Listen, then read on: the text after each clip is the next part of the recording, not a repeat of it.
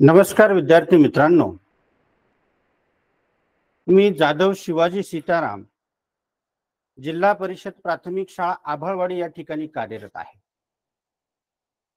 मित्रांनो जिल्हा परिषद अहमदनगरचे मुख्य कार्यकारी अधिकारी माननीय आशिषजी एरेकर साहेब यांच्या संकल्पनेतून त्याचप्रमाणे जिल्हा शिक्षणाधिकारी माननीय भास्करजी पाटील साहेब. त्याचप्रमाणे जिल्हा नोडल अधिकारी जयश्री कारले मॅडम यांच्या सुनियोजित मार्गदर्शनाखाली आपल्या जिल्ह्यामध्ये गेल्या वर्षापासून मिशन आरंभ नावाचा एक अभिनव प्रकल्प चालू आहे.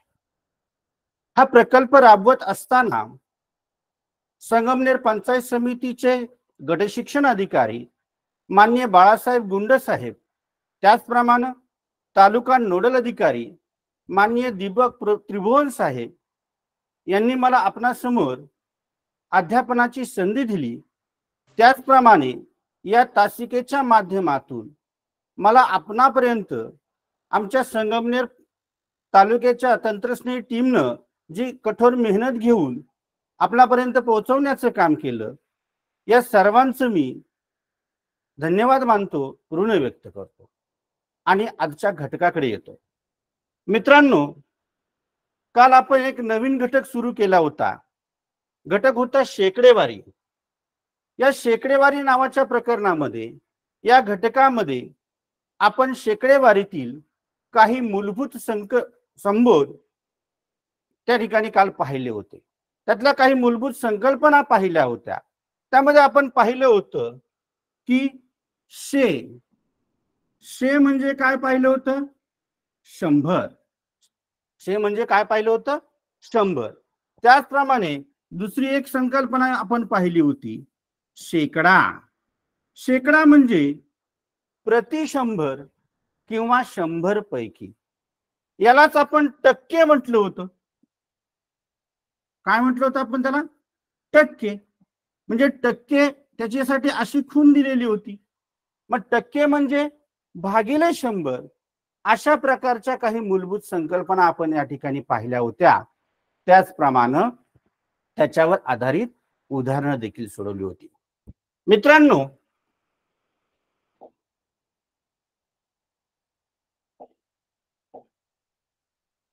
या ठिकाणी आपण काल पंचवीस टक्के बरोबर पंचवीस छेद शंभर किंवा पंचवीस भागिले शंभर असं पाहिलेलं होतं. म्हणजे या टक्क्याचा अर्थ काय होतो? तर भागिले शंभर किंवा शंभर पैकी. याच्यासाठीच या पंचवीस टक्क्यासाठीच आपण एक शब्द वापरला होता.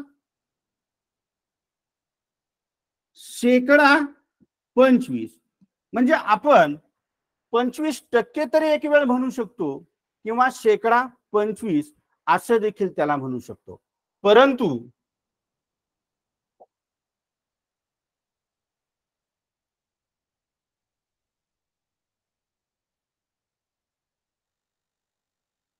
शेकडा पंचवीस टक्के असं या ठिकाणी आपण म्हटलं तर त्यामध्ये बराचसा बदल होतो. म्हणजे शेकडा पंचवीस टक्के म्हणजे याचा काय अर्थ होतो पहा? एकतर शेकडा म्हणजे काय? शंभर पैकी आणि पंचवीस टक्क्याचा अर्थ सुद्धा होतो पंचवीस भागिले शंभर. मग आता शेकडा पंचवीस जर एखाद्या विद्यार्थ्यानं लिहिलं किंवा आपण जर असं वाचलं तर याचा अर्थ काय होणार पहा. शेकडा पंचवीस टक्के असं जर असेल तर. आता शेकडा म्हणजे काय? भागिले शंभर. म्हणजे अगोदर आपण पंचवीस टक्के लिहून पाहू. शेकडा.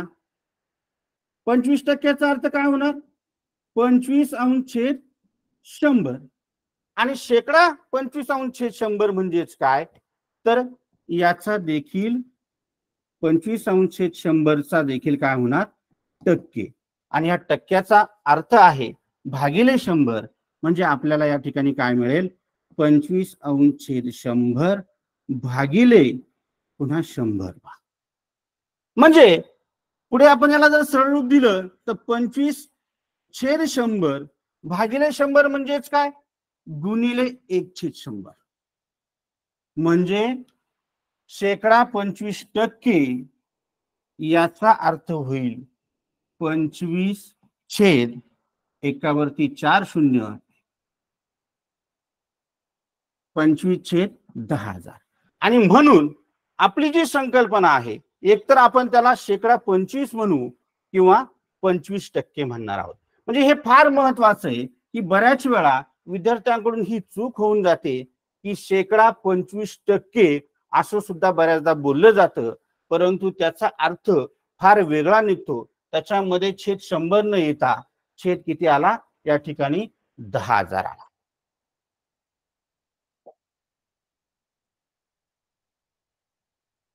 आता काल विद्यार्थी मित्रांनो काल आपण पाहिलं होतं पंचवीस टक्के.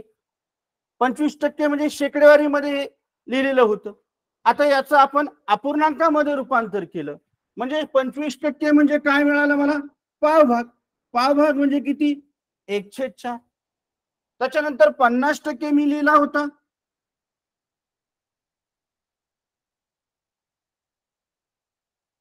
पन्नास टक्के असा जर लिहिला तर त्याचा भाग होतो अर्धा भाग. म्हणजे अपूर्णांक मला मिळाला एकशे दोन. त्याच्यानंतर मी पंच्याहत्तर टक्के लिहिला. तर पंच्याहत्तर टक्केचा अर्थ काय होणार?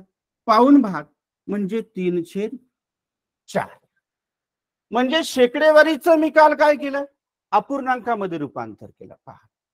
म्हणजे पंचवीस टक्के असतील तर पाव भाग पन्नास टक्के असतील तर अर्धा भाग आणि पंच्याहत्तर टक्के असतील तर पाऊन भाग आणि शंभर टक्के असतील तर एक पूर्ण भाग. म्हणजे अशा प्रकारे काल आपण शेकडेवारीचं रूपांतर या अपूर्णांकामध्ये केलं. आज थोडस मी तुम्हाला पुढे घेऊन जाणार आहे पहा.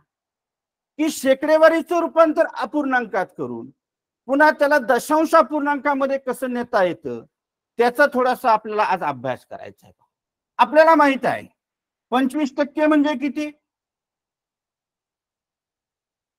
पहा या ठिकाणी आपण अगोदर पंचवीस टक्केच पाहू. पंचवीस टक्के म्हणजे किती? पंचवीस अंश छेदामध्ये शंभर किंवा शंभरापैकी पंचवीस पाहू. मग पंचवीस टक्के म्हणजे शंभरापैकी पंचवीस याला आपण दशांश पूर्णांकामध्ये जर नेलं या ठिकाणी दशांश चिन्ह कुठं आहे? या ठिकाणी आहे. छेदाचं दशांश चिन्ह कुठं आहे? इथं आहे. बरोबर? आता मला दशांश पूर्णांकामध्ये लिहायचंय. याचा अर्थ मला या ठिकाणी त्याचा छेद अजिबात नकोय तो एक असला पाहिजे. आणि मग मला जर छेदामध्ये एक घ्यायचा असेल तर मला हे दशांश चिन्ह डावीकडे सरकवावं लागेल. किंवा मला छेदाला शंभरने भागावं लागेल. दशांश चिन्ह सरकतं म्हणजे काय होतं? आपण त्याला भागतो किंवा गुंतो मग आता पहा मला हे डावीकडे सरकवायचं असेल तर मला शंभरने या ठिकाणी मला दोन स्थळ इकडे डावीकडे यायचं आहे. आणि म्हणून मला या ठिकाणी पहा शंभरने भागावं लागेल. म्हणजे माझं एक घर या ठिकाणी येईल दुसरं घर या ठिकाणी म्हणजे दशांश चिन्ह माझं इथं येणार आहे. आता याचं सुद्धा जर मी छेदाचं दशांश चिन्ह दोन घर मागे आलोय डावीकडे आलोय तर मला अंशाचं सुद्धा दशांश चिन्ह दोन घर पाठीमागे येऊन मला अंशामध्ये शून्य दशांश चिन्ह दोन पाच आणि छेदामध्ये मला किती मिळालं? एक दशांश चिन्ह शून्य शून्य. आता एक दशांश चिन्ह शून्य शून्य म्हणजे काय? एक पूर्णांक आणि पुढे अपूर्णांकाचा भाग झाला शून्य. म्हणजे खाली छेदामध्ये या ठिकाणी एक उरला आणि अंशामध्ये शून्य दशांश चिन्ह दोन पाच अशा प्रकारचं मला या ठिकाणी या पंचवीसचं रूपांतर मिळालं. मग आता एकनं भागणं म्हणजे काय? त्याने काही बदल होत नाही. आणि म्हणून या ठिकाणी शून्य पॉइंट पंचवीस अशा प्रकारचा मला दशांश अपूर्णांक मिळाला.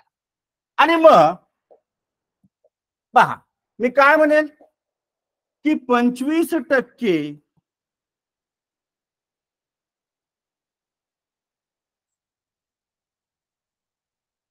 पंचवीस टक्के बरोबर पंचवीस टक्के बरोबर.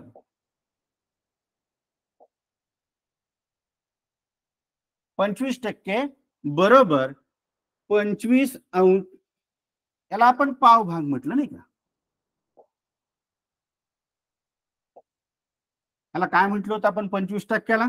पाव भाग म्हणजे एकशे चार.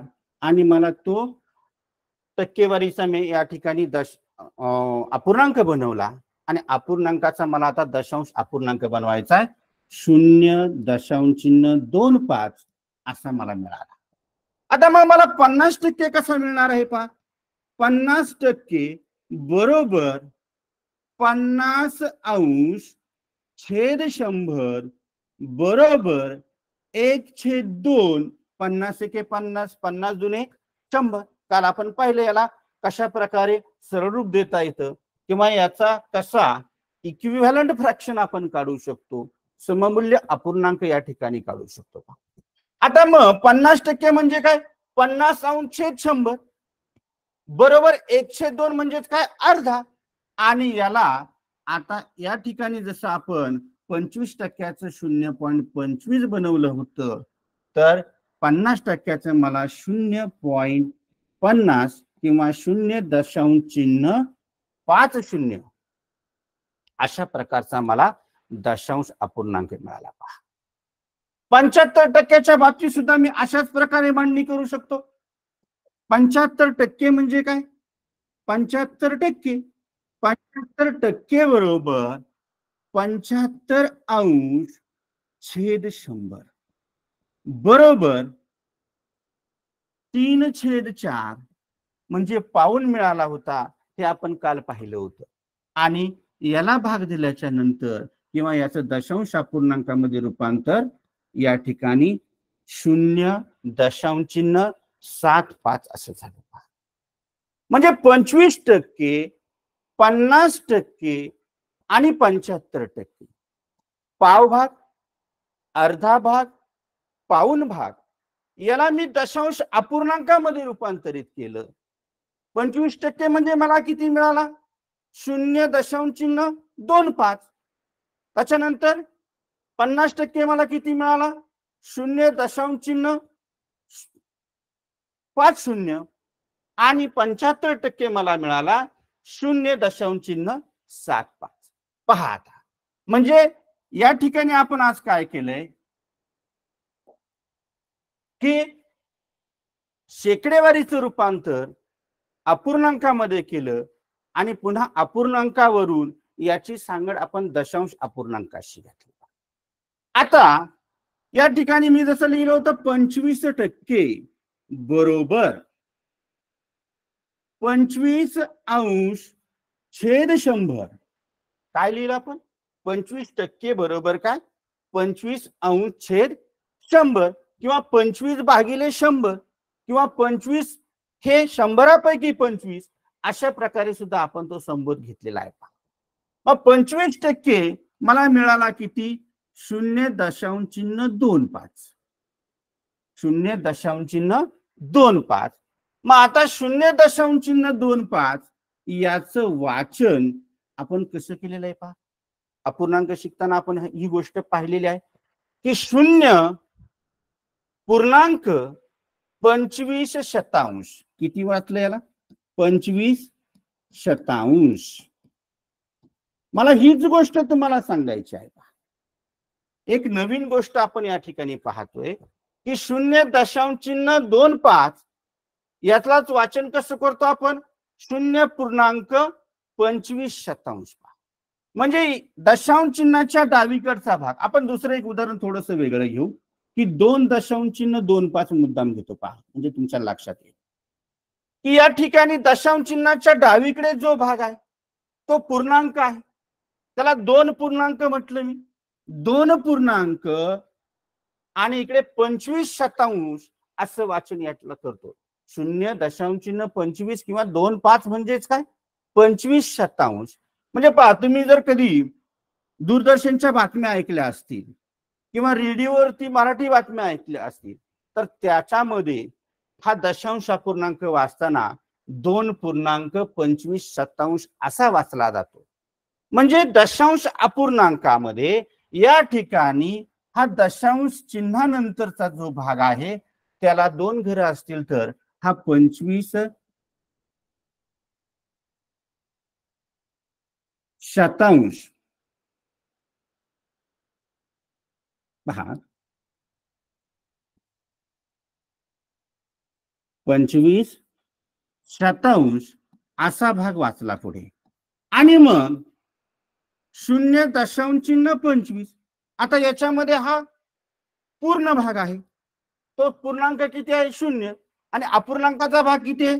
या ठिकाणी दोन पाच. हा दोन पाच कसा लिहितो आपण? पंचवीस छेद शंभर. म्हणजेच मला काय सांगायचंय पहा की पंचवीस छेद शंभर हा काय येतोय? शून्य पॉइंट पंचवीस येतो. याचा अर्थ तो पंचवीस शतांश येतो. आणि म्हणून कधी कधी या शेकड्याला किंवा टक्क्याला या ठिकाणी शतांश सुद्धा म्हटलं जाईल. मग पंचवीस शतांश म्हणजे काय? किंवा पन्नास शतांश म्हणजे काय? पहा. की पंचवीस टक्के. म्हणजे काय? बरोबर शेकडा पंचवीस. पंचवीस किंवा पंचवीस अंशेद शंभर किंवा पंचवीस शतांश. असंच एक प्रकार दोन प्रकार आणि हा तिसरा आणि चौथा. पहा पंचवीस शतांश असं देखील या ठिकाणी वाचलं जाईल. असं? पाहता मुलांना. काल आपण पाहिलं की एक पंचवीसच उदाहरण घेऊ. पंचवीस टक्के बरोबर? आता शेकडेवारीमध्ये पण हे चिन्ह फार महत्वाचं जे चिन्ह आहे हे चिन्ह फार महत्वाचं आहे. काल आपण पाहिलं टक्के दाखवण्यासाठी या स्वरूपाचं चिन्ह वापरलं जात.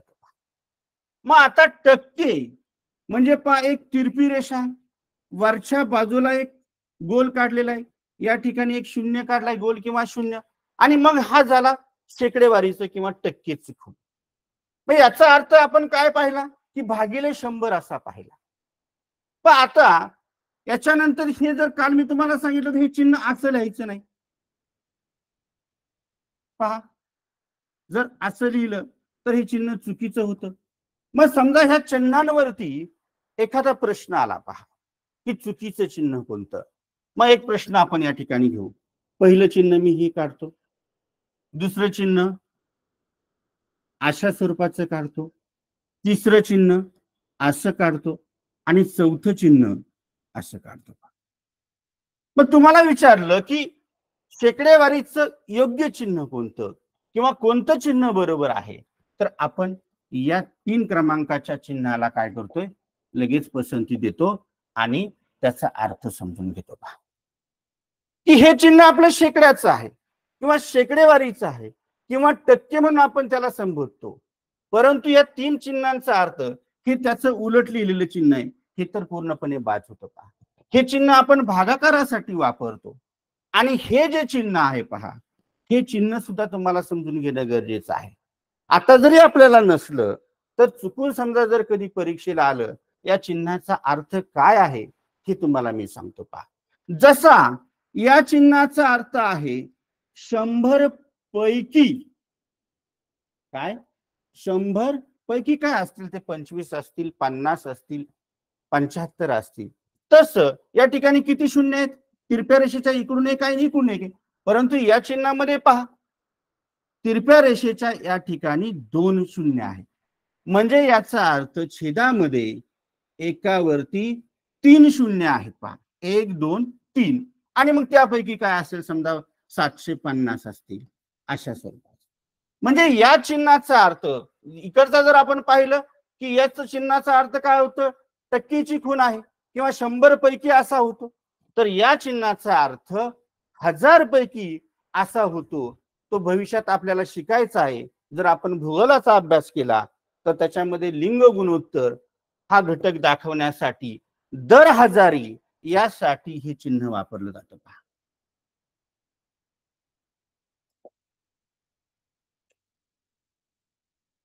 म्हणजे आज काय पाहिले आपण मुलांना? कालचे संबोध पाहिले की काल आपण कोणकोणत्या गोष्टी शिकलो?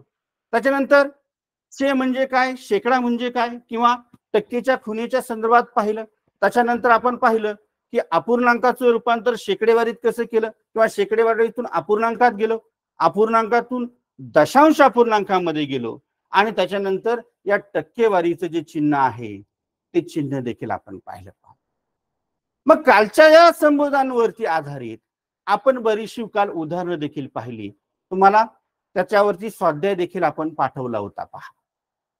मग आता या टक्केवारीचा आणखी कशा कशासाठी उपयोग होतो पहा? की समजा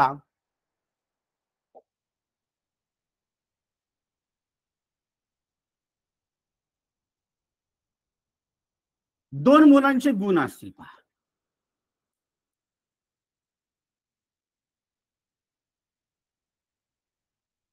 दोन विद्यार्थ्यांच्या गुणांची.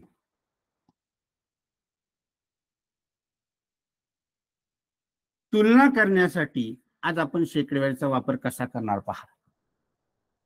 समजा प्रणव नावाच्या मुलाला चाळीस पैकी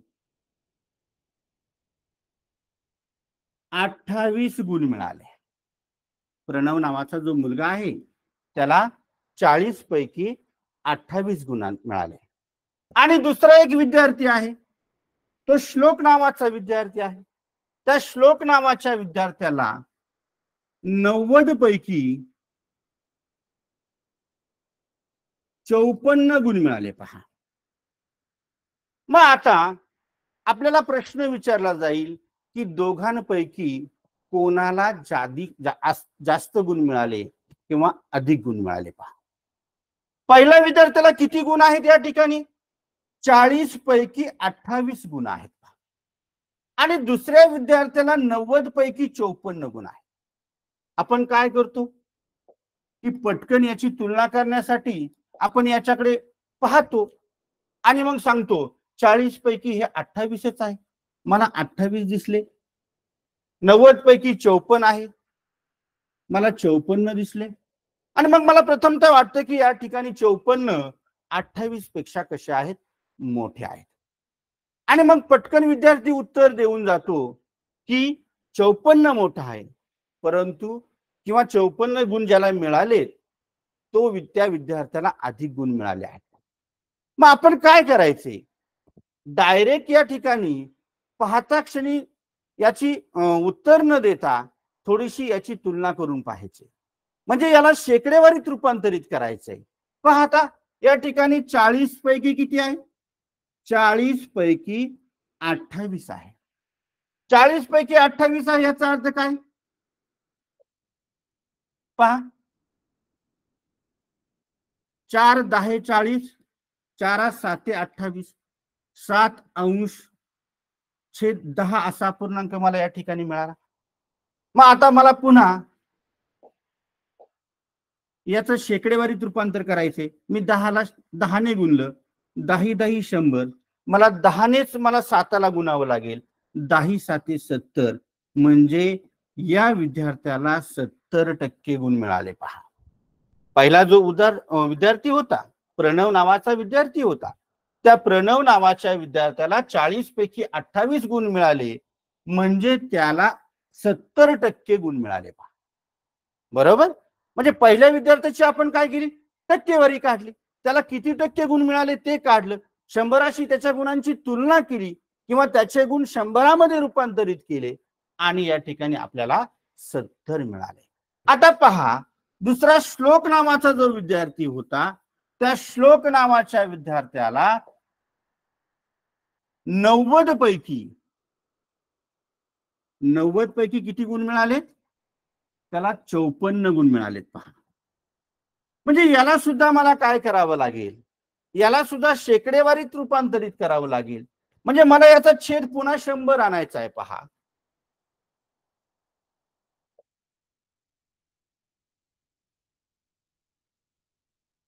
नऊ दहा नव्वद आणि नऊसक चौपन्न नवाने पूर्ण भाग केला पहा. सहा अंशामध्ये छेदामध्ये दहा. मग आता याला पुन्हा जर शेकडेवारीत रूपांतर करायचं असेल तर दहा गुणिले दहा सहा गुणिले दहा बरोबर साठ छेद शंभर. पहा आता. या ठिकाणी या विद्यार्थ्याला चौपन्न म्हणजे ही मोठी संख्या दिसत होती अठ्ठावीसपेक्षा. परंतु या ठिकाणी त्याला किती गुण मिळाले साठ टक्के गुण मिळाले किंवा शेकडा साठ गुण मिळाले आणि अगोदरचा जो विद्यार्थी होता त्याला सत्तर टक्के गुण मिळाले. आणि म्हणून या दुसऱ्या विद्यार्थ्याचे गुण जास्त आहेत. आणि म्हणून आपण या ठिकाणी पाहिलं की जरी ती संख्या मोठी दिसत असली तरी लगेच त्याचं उत्तर न देता त्याला शेकडेवारीत रूपांतर करायचं. म्हणजे या ठिकाणी आपण काय पाहतोय? की समजा दोघांची तुलना करायची असेल दोन विद्यार्थ्यांच्या गुणांची असेल किंवा आणखी कोणत्या दोन बाबींची तुलना करायची असेल तर आपल्याला त्याला शेकडेवारीत रूपांतरित करावं लागतं. आणि शेकडेवारीत रूपांतरित केल्याच्यानंतर किंवा त्याची शंभराशी तुलना केल्याच्यानंतर आपल्याला या ठिकाणी त्याची तुलना होणार. कोण कमी कोण जास्त हे आपल्याला त्या ठिकाणी पटकन लक्षात येतं पाहू. आता ठीक आहे आपण काही उदाहरणं पाहू. पहा मित्रांनो तुम्हाला ग्रुपवरती काल आम्ही स्वाध्याय पाठवला होता. या स्वाध्यायामध्ये बरीचशी उदाहरणं अगदी काली झालेल्या भागावरतीच होती.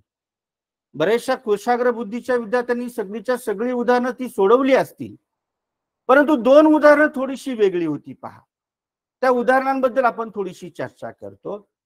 या ठिकाणी कालचं पहिलं उदाहरण काय होतं? की एक दुकानदार एक डझन वस्तूंवर दोन वस्तू मोफत देतो पहा. बरोबर? त्यांना किती वस्तू मोफत दिलेल्या आहेत? दोन वस्तू. तर तो शेकडा किती वस्तू मोफत देतो?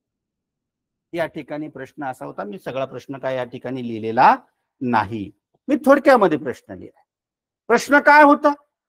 एक दुकानदार एक डझन वस्तूंवरती दोन वस्तू मोफत देतो. तर तो दुकानदार शेकडा किती वस्तू किंवा किती टक्के वस्तू मोफत देतो. आता या ठिकाणी काय होतं? आपल्याला दिले या ठिकाणी काय? की वस्तू किती सांगितल्यात पहिल्यांदा? एक डझन वस्तू सांगितलेल्या आहेत. त्याच्यावर किती वस्तू त्यांना मोफत दिलेल्या आहेत? दोन वस्तू दिलेल्या आहेत. परंतु या ठिकाणी तो डझन दिलेला आहे आणि या ठिकाणी त्याच्या सुट्ट्या वस्तू दिलेल्या आहेत. मग हे उदाहरण सोडवताना दोन्ही देखील घटक एकाच प्रकारच्या एककात असले पाहिजेत पहा. आणि म्हणून समजा एक डझन म्हणजे किती? एक डझन. बरोबर बारा वस्तू. एक डझन बरोबर बारा वस्तू. आणि म्हणून बारा पैकी किंवा बारावरती त्यानं दोन वस्तू या ठिकाणी काय केल्यात? मोफत दिलेल्या आहेत. तर आपल्याला या ठिकाणी उदाहरण असं मिळेल पा शंभर वस्तूंवरती किती वस्तू त्यानं मोफत दिल्या होत्या किंवा दिल्या आहेत? मग आता पहा. या ठिकाणी आपण इतर प्रश्नचिन्हाच्या ऐवजी आपण एक्स लिहू. कारण ती जी गोष्ट काढायची आहे तिला कोणतंही अक्षर आपण मानू शकतो. आणि म्हणून कालच्या पद्धतीप्रमाणे पहा. एक्स बरोबर दोन छेद बारा हा इकडे भागिले आहे. तो डावीकडे येताना किंवा बरोबर चिन्हाच्या या बाजूला येताना गुणिले होईल. आणि मग तो गुणिले काय घेतला मी? शंभर घेतला पहा. मग आता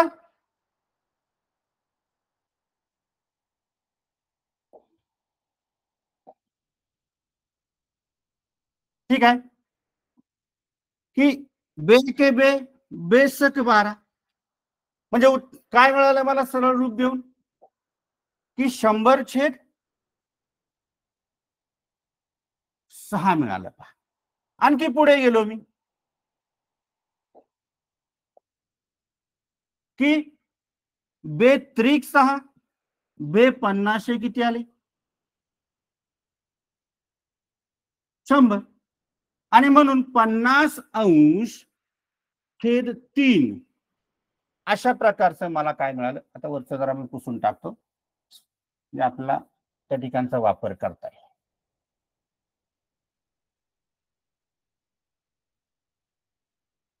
पन्नास अंश छेद तीन अशी अशी आपल्याला एक्सची किंमत मिळाली.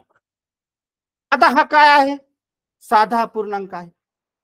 मग याला पूर्णांक युक्त अपूर्णांकामध्ये जर रूपांतरित केलं किंवा पन्नासला जर तीनने भागलं तर सोळत्रिक अठ्ठेचाळीस म्हणजे दोन उरतीन आणि याचा छेद आहे तसाच राहील. आणि म्हणून सोळा पूर्णांक किंवा सोळा पूर्णांक दोन अंश छेद तीन अशा स्वरूपाचं माझं त्या ठिकाणी उत्तर निघालं असेल किंवा ते उत्तर मला हवं आहे. आता त्याच्यानंतर दुसरं उदाहरण एक होतं की एकशे आठपेक्षा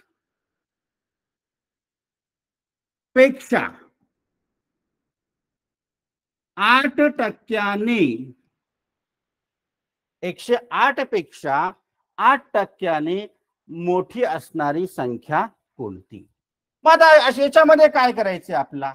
एकशे आठ चे किती टक्के काढायचे? आठ टक्के काढायचे. मग आता पहा.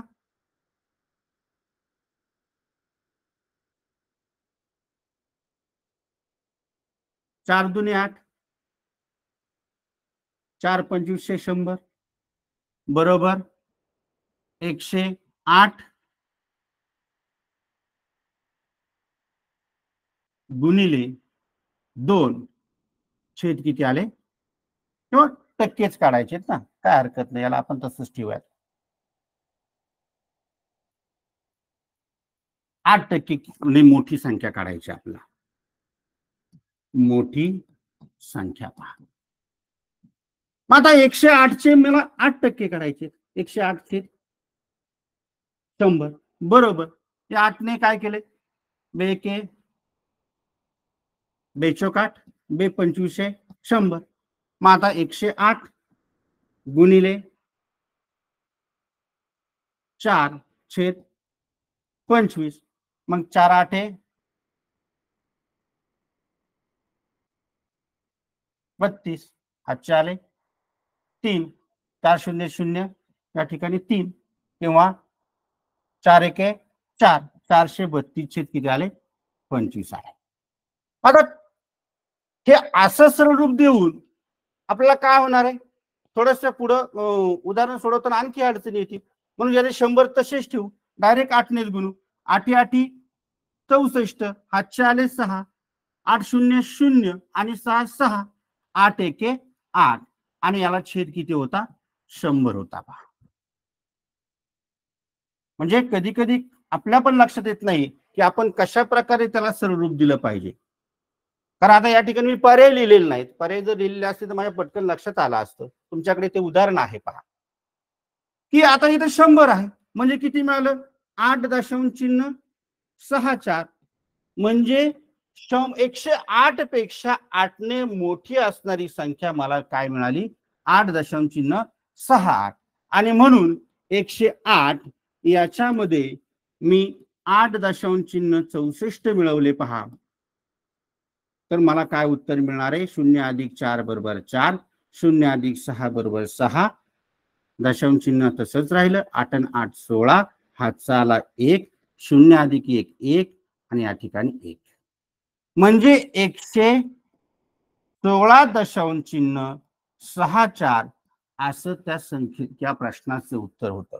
आणि म्हणून एकशे आठपेक्षा आठ टक्क्याने मोठी असणारी संख्या ती एकशे सोळा दशांश चिन्ह सहा आठ अशा प्रकारची आपल्याला मिळाली पाहू.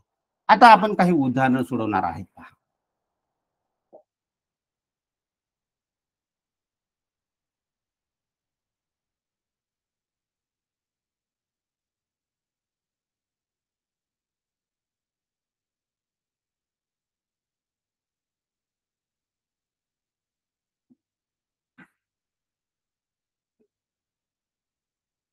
पहा तुमच्या स्क्रीनवर एक उदाहरण दिसते एकदा वाचून घ्या बरं.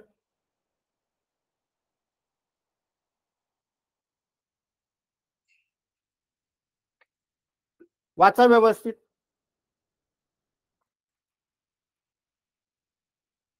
या ठिकाणी उदाहरण दिसतंय. नाना पाटलांच्या वाड्यावरती तीनशे पोती धान्य आहे. किती पोती धान्य आहे? तीनशे पोती धान्य आहे. त्यापैकी वीस टक्के पोती ज्वारीची आहेत. पस्तीस टक्के पोती गव्हाची आहेत. पंधरा टक्के पोती तुरीची आहेत व उरलेली पोती सोयाबीनची आहेत. तर त्यांच्याकडे किती पोती सोयाबीनची आहेत? आता या ठिकाणी आपल्याला चार पर्याय दिलेले आहेत पहा. पर्याय पहिला साठ पर्याय दुसरा एकशे वीस पर्याय तिसरा एकशे पाच आणि पर्याय चौथा काय दिलेला आहे या ठिकाणी? नव्वद दिलेला आहे. म्हणजे हे उदाहरण नीट समजून घ्यायचं. जरी उदाहरण थोडस अगडबंब मोठच्या मोठं दिसत असेल तरी आपण याला घाबरून जायचं नाही. उदाहरण व्यवस्थित अशा प्रकारचं उदाहरण जर आलं तर हे उदाहरण आपण व्यवस्थित बारकाईने वाचायचे. या उदाहरणामध्ये दिलंय काय? आपल्याला विचारलंय काय? या गोष्टींचा विचार करायचा. हे देखील उदाहरण परीक्षेला आलंय. मग आता इथं काय सांगितलं आपल्याला? थोडस मी बारीक करतो. उदाहरण तुम्ही वाचलेलं आहे. नाना पाटलांच्या वाड्यावर तीनशे पोती. किती पोती धान्य आहे? तीनशे पोती धान्य आहे.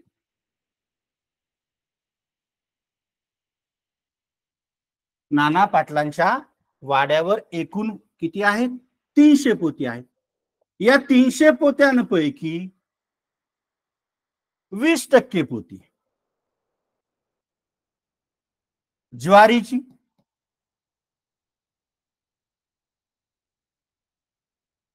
पस्तीस टक्के पोती. गहू त्याच्यानंतर पंधरा टक्के पोती. तुरीची आहेत तूर. आणि उरलेली पोती काय आहेत? सोयाबीनच्या आहेत.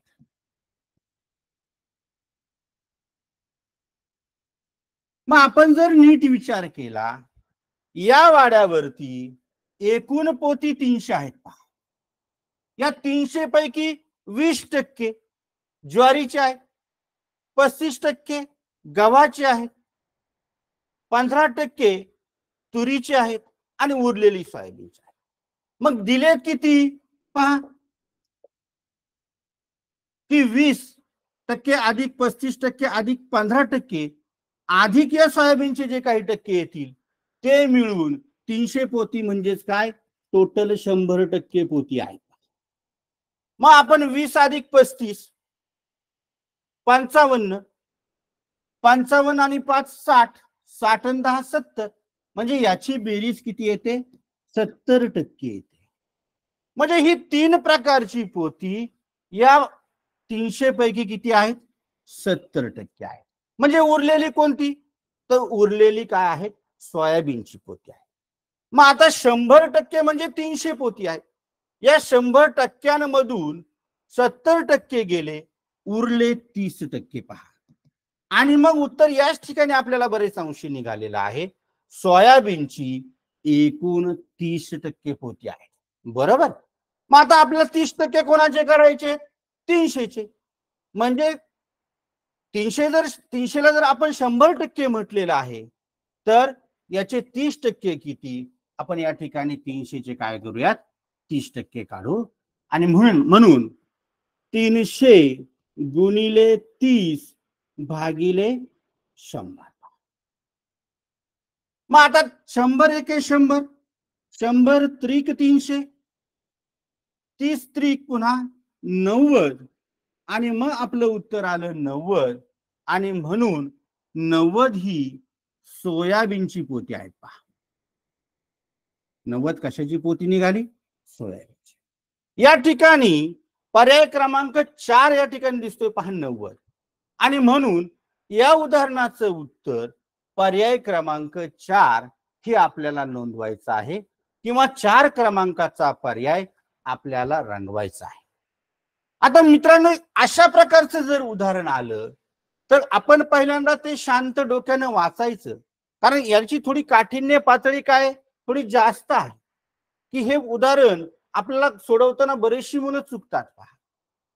दिलेले काय? एकूण पोथी दिलेली आहे त्याच्यामध्ये वीस टक्के ज्वारी पस्तीस टक्के गहू पंधरा टक्के तूर आणि उरलेली काय काढायची? ते सोयाबीनची.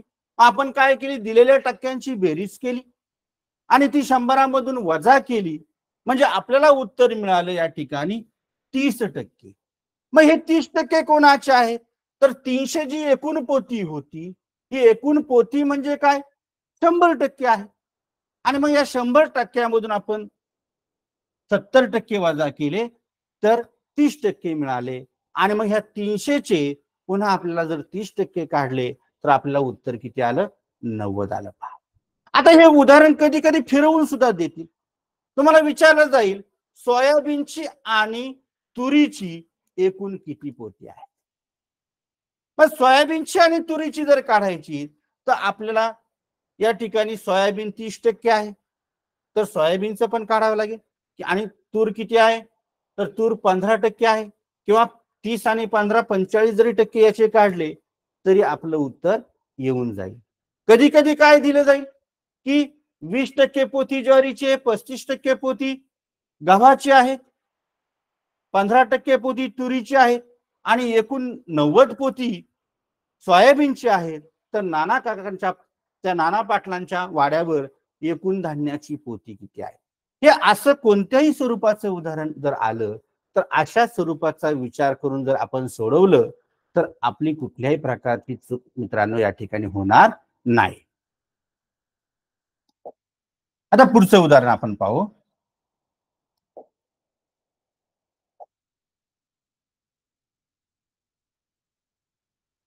हे उदाहरण आपण काल सोडवलेलं आहे.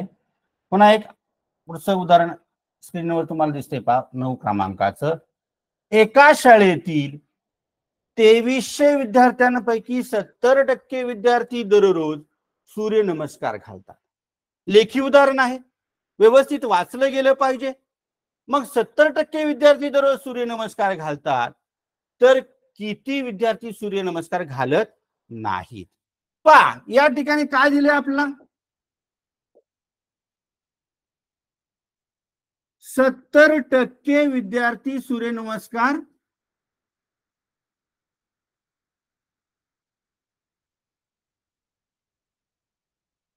घालतात. एकूण विद्यार्थी संख्या किती आहे?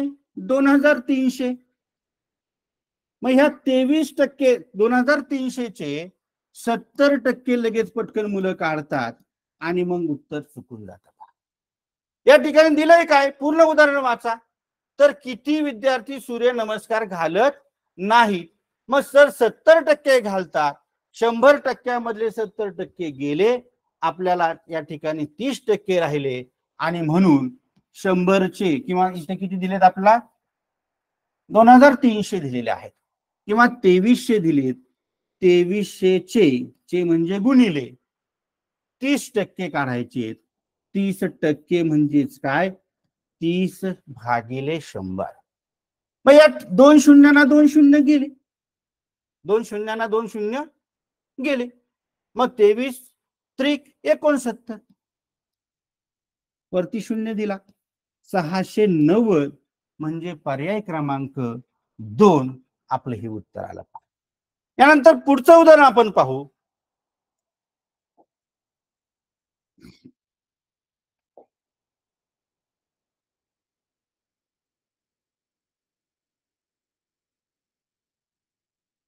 पहा एक थोडस वेगळं उदाहरण आहे. काय होतं? मुलं बरीचशी उदाहरणं सोडवताना चुका करतात. आणि आपल्याला वरवर वाटतं की माझं बरोबर आहे. परंतु घरी गेल्याच्यानंतर परीक्षा हॉलमधून की आपल्या लक्षात येतं अरे हे माझं उदाहरण चुकलं पहा. ओंकार परीक्षेत पाचशे दहा गुण मिळवून उत्तीर्ण झाला. जर त्याला परीक्षेत अडुसष्ट टक्के गुण मिळाले असतील तर ती परीक्षा किती गुणांची होती? मग याच्यामध्ये उदर पहिले पर्याय दिलेला आहे. पाचशे दहा. पर्याय क्रमांक दोन दिलाय सहाशे ऐंशी. पर्याय क्रमांक तीन दिलाय सातशे पन्नास. आणि पर्याय क्रमांक चार दिलाय आठशे. मग आता पहा. ओंकारला परीक्षेत किती गुण मिळालेत? पाचशे दहा गुण मिळालेत. त्याला किती टक्के गुण मिळालेत? त्याला अडुसष्ट टक्के गुण मिळालेत. म्हणजे काय? शंभर पैकी अडुसष्ट मिळाले.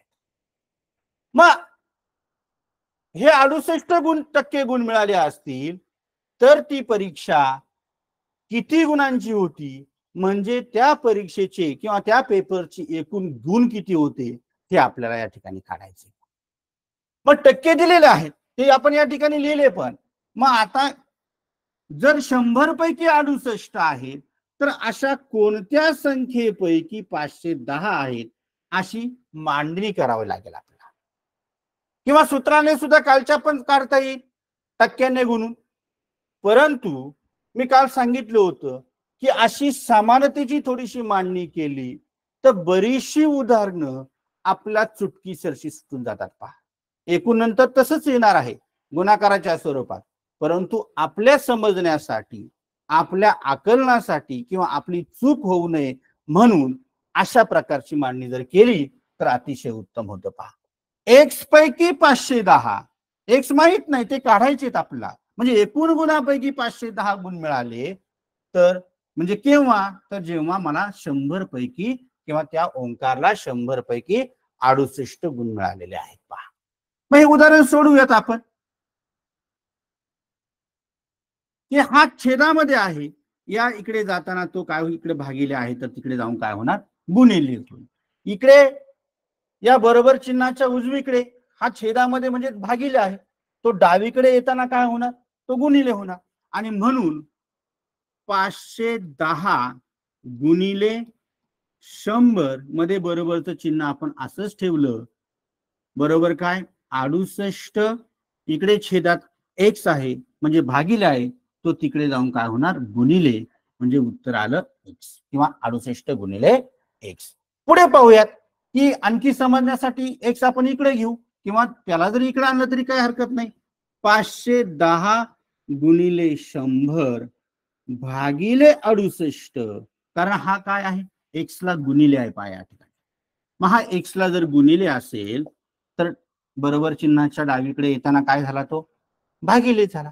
बरोबर काय येणार आहे? आपली एक्सची किंमत येणार आहे.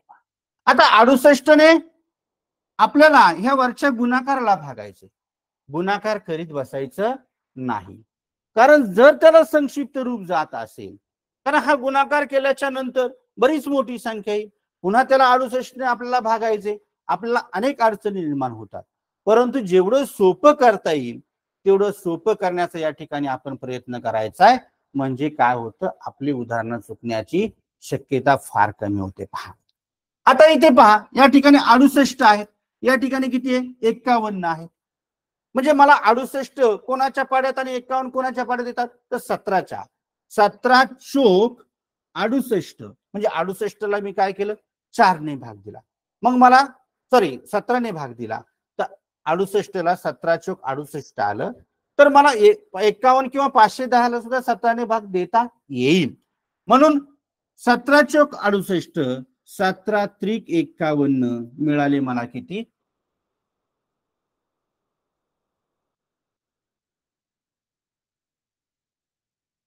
काहीतरी चुकतंय थांबा.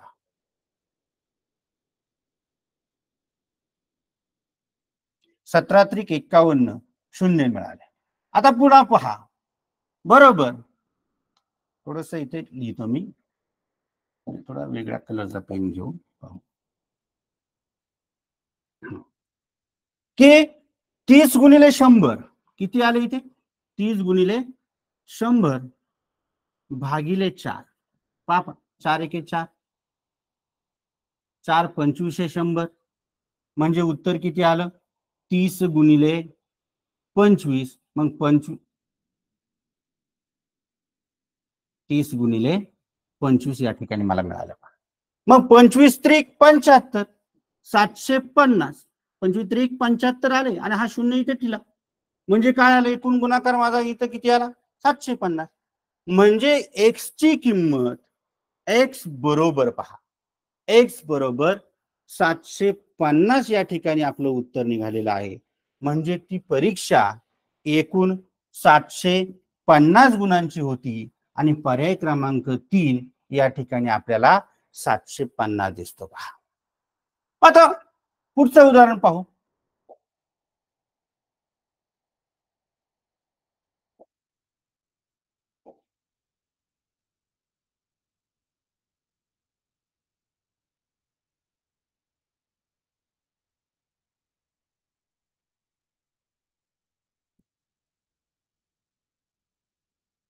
हा साडेबाराशेचा बारा टक्के. तर आता हे सोपं आहे. साडेबाराशे म्हणजे काय? बाराशे पन्नास त्याचा बारा टक्के काढणं सहज शक्य आहे आपला. थोडस वेगळं उदाहरण पाहूया. नऊ हजार नऊशे नऊशे नऊ टक्के किती होतील ते पण सोपं उदाहरण आहे. तुम्ही सोडू शकता ते. आता अगोदरच्या सारखं एक मोठं उदाहरण या ठिकाणी आले पाहिजे रावसाहेबांच्या बागेत विविध प्रकारची एकवीसशे एकवीसशे म्हणजे दोन हजार शंभर झाडे आहेत. त्यापैकी पंचवीस टक्के झाडे आंब्याची वीस टक्के झाडे नारळाची चाळीस टक्के झाडे फणसाची व उरलेली झाडे सुपारीची आहेत. तर सुपारीची एकूण किती झाडे आहेत? आता हे शिष्यवृत्तीच्या परीक्षेला आलेलं गणित आहे पहा. या ठिकाणी काय आहे? एकूण झाड. असं उदाहरण मगाशी आपण पाहिलेलं आहे की एकूण झाड किती आहेत एकवीसशे आहेत. पैकी पंचवीस टक्के झाडे. पंचवीस टक्के. आंब्याची वीस टक्के. नारळाची चाळीस टक्के. फणसाची व उरलेली काय आहेत? सुपारीची आहे आणि विचारले आपला सुपारीची एकूण किती झाडे आहेत पहा. पर्याय क्रमांक एक या ठिकाणी दिसतोय आपला एकशे पाच. पर्याय क्रमांक दोन दिसतोय पाचशे पंचवीस. पर्याय क्रमांक तीन दिसतोय तीनशे पंधरा. आणि पर्याय क्रमांक चार दिसतोय चारशे पंधरा. मग आता आपण काय करू? हे दिलेले तीन प्रकारची झाडं यांची टक्केवारींची बेरीज करू. चाळीस आणि वीस साठ. साठ आणि वीस ऐंशी. ऐंशी आणि पाच पंच्याऐंशी.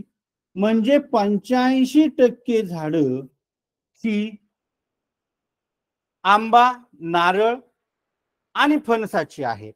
म्हणजे शंभर टक्क्यापैकी याला काय म्हणतोय आपण? शंभर टक्के म्हणतोय. मग एकवीसशे पैकी याला जर आपण शंभर टक्के म्हटलेलं आहे तर या शंभर टक्क्यातून आपल्याला जर पंच्याऐंशी टक्के आपण जर वजा केले तर पंधरा टक्के उरतात पहा. आणि मग या एकवीसशेचे पंधरा टक्के काढले की आपल्याला या ठिकाणी सुपारीची झाडे मिळणार आहे आणि मग एकवीसशे किंवा दोन हजार शंभर गुणिले पंधरा टक्के म्हणजेच काय? पंधरा छेद शंभर. आणि मग या ठिकाणी दोन शून्याला दोन शून्य गेले. म्हणजेच काय? शंभरने इथं छेदाला भागलं. तेच आपण अंशाला देखील काय करणार आहे? इथे भागणार आहे. आणि म्हणून दोन शून्याला दोन शून्य गेले. आपल्याकडे अंशामध्ये राहिले एकवीस गुणिले पंधरा. छेदामध्ये एक आहे. तर एकाने भागणं हे काय विशेष? काही बदल होत नाही. आहे ती संख्या राहते. आणि म्हणून एकवीस गुणिले पंधरा अशा स्वरूपाचा गुणाकार जर आपण केला तर पंधरा एक पंधरा पंधरा चाला एक. पंधरा दुने तीस. तीस आणि एक एक तीस तीनशे पंधरा आणि मग तीनशे पंधरा आपलं पर्याय क्रमांक तीन मध्ये हे उत्तर आहे. म्हणजे अशा प्रकारची मुद्दा म्हणून दोन उदाहरणं आपण या ठिकाणी पाहिले कारण ही दोन्हीच्या दोन्ही देखील परीक्षेला आलेली उदाहरणं होती. म्हणजे शेकडेवारीवरती अशा स्वरूपाची शाब्दिक उदाहरणं मोठ्या प्रमाणावरती जे असतात किंवा त्याचा आकार मोठा असतो असे शाब्दिक उदाहरणं येतात आणि ते आल्याच्यानंतर मुलांची सोडवताना थोडीफार गडबड होते आणि म्हणून आपण ह्या प्रकारची दोन उदाहरणं घेतलेली आहेत. आता पुढचं उदाहरण आपण पाहूयात.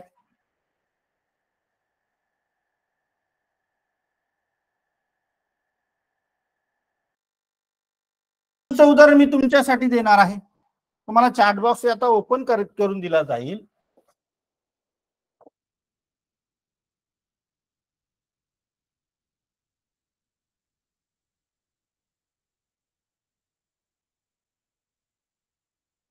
उदाहरण आहे शबनाने तिच्या जवळ असलेल्या थोडं मोठं करतो म्हणजे तुम्हाला व्यवस्थित ते उदाहरण दिसेल.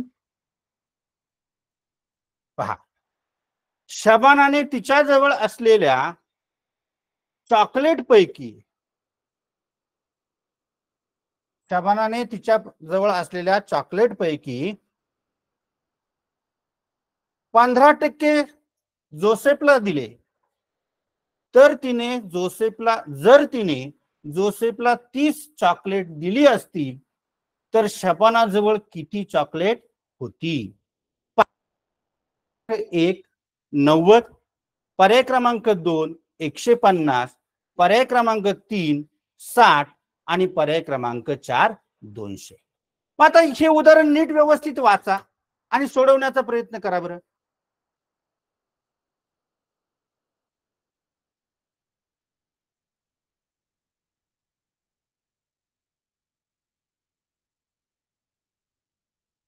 अरे बापरे खूप विद्यार्थ्यांचा फट फास्टमध्ये पहा.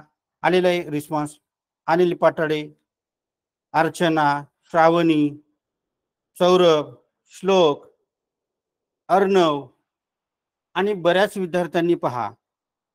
कुणी चार उत्तर दिले? काहींच हा बरेच मोस्टली ते चार त्या ठिकाणी दिसत आहे आणि मग पहा की बरेच विद्यार्थ्यांचा हा हे रिस्पॉन्स येत आहे आपण एकदा पाहूयात. की हे उदाहरण काय आहे? काय दिसतंय? थोडस अजून बारीक करतो स्क्रीन म्हणजे आपल्याला या ठिकाणी उदाहरण सोडवायला जागा मिळेल. शबनमने तिच्या जवळ असलेल्या चॉकलेट पैकी पंधरा टक्के चॉकलेट जोसेफला दिले. जर तिने जोसेफला तीस चॉकलेट दिली असतील तर शबनम जवळ किती चॉकलेट होती? म्हणजे काय? पहा.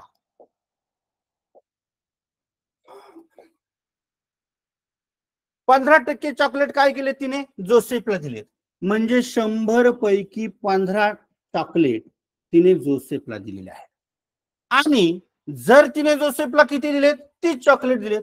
म्हणजे पंधरा टक्के म्हणजे किती आहे? तीस चॉकलेट आहे.